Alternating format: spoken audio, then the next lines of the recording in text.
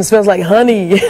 We've been monkeying around today with Jack Hanna and his amazing animals, as well as our very special guest, Loretta Swit, who does her part in trying to protect animals and wildlife. I'm here with some cute kids here, and uh, we're, we're scratching and sniffing a book called Jungle Jack Hanna's Pocket Full of Bugs. Can you imagine? And tell me, what is this about? You, this was the honeycomb we were sniffing there, right? Uh-huh. So what do you think about this book? That's pretty cool. I think it's very nice because I like the way it smells. you like the way the book smells. Well, there's there's what is this book? Ooh, what is that? It's a scorpion. A scorpion. My goodness, scratch and sniff. Phew! That's what that bug does to protect himself when bad people come around. He starts spraying spraying this spray. Oh, that's really, really cool. We're learning so much today about the animal kingdom, indeed. Jack, what is that thing behind you? He's up your shoulder. Yeah. This is an emu, and there are three largest land birds, the ostrich, the emu, and the rhea. And they're tough. And they're They're tough. one tough bird. Right, this is from Scotch Plains, and this is neat bird. Their, their brain, even though you can't judge them by its brain, but their brains are very small. Uh-huh. And you think they're burying their head in the sand like the ostrich. Well, they're not doing that. They're kind of just staying cool when they do that. A lot of people think they bury their head, but they can kick. You see the feet there? Yeah. Those feet can literally tear you apart. An ostrich can kill you with one kick. Really? Yes. Where does where can you find that bird? Australia. Australia. In Australia. Come ask your question. I have two questions for you. First of all, you keep referencing Scotch Plains. Is that Scotch Plains, New Jersey, that Right, these animals right, are from? right. Some of them are. Okay. And then also the question regarding the hedgehog. I know that I can walk into a, a pet store in New Jersey and buy one.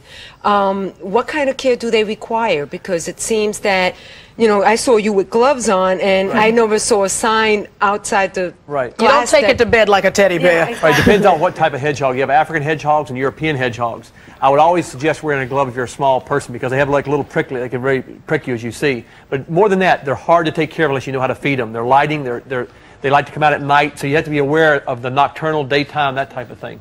There is a beautiful bird back there called the macaw. Can you bring the macaw out? We'll just keep the emu here. Yeah, we'll bring the macaw out. This is a macaw parrot. Isn't that beautiful?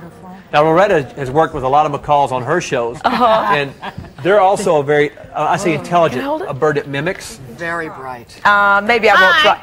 Is it talk? Hi. Hi. Hello, Kramer. Hi. Hello, Kramer.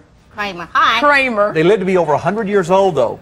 That's why a lot of people go out and get a parrot like this why in a pet shop or somewhere else, wherever. And of course, we hope you get parrots that are born in, in this country because they smuggle these birds in.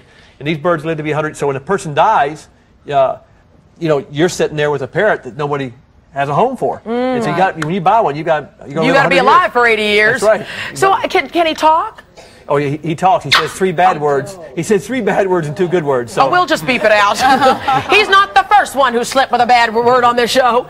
Come on. But their, their beak has like we were talking Loretta and I earlier. There, there are pounds of pressure that'll rip your finger off. You can, yes, you can lose a finger. I worked with one on Incredible Animals yeah. who started to get testy. We kept losing the scent. I was telling Jack this amazing story. And he just kind of warned me. And I looked for the trainer. I said, uh, give- yeah, and he said, just be firm with him, Loretta. be firm with him. I'm going to lose my hand. So how do you be firm? So the sun started to come out. And I just sort of jiggled him a little, and I said, "Listen to me now. We have a job to do. We have to do this take, and we're going to be great. And you okay, George? All right, okay." Hi, I'm Loretta Swit. This is George. George goes, "Hi." Put every the Right set on just cue. went Good show. Crazy. You also have an iguana back there. I do. You do? I saw one. Oh, wow, I do have an iguana. Isn't that cool? Now, this the is a color. yeah, beautiful animal. Now, this is another animal though. This nice lady up here had a, a good question. Can I they're- touch him? Yeah, be, be careful. He's rough. That they have they, that they have in pet shops. Now you got to remember there are good pet shops and they're bad, just like they're good and bad everything. But uh, an iguana is an animal that can carry. One of the kids can come up. Come on, who You're- wants you're to touch the You look like an iguana. Come here.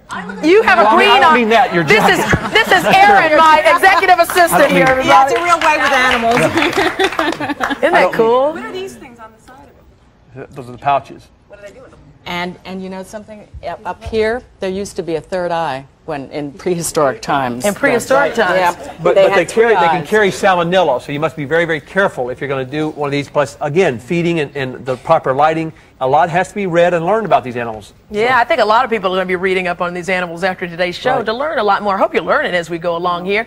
Coming up, a seven and a half foot albino Burmese python, which squeezes its prey to death before eating it. And it's coming on the stage with us. We're going to see if we survive this thing right after this.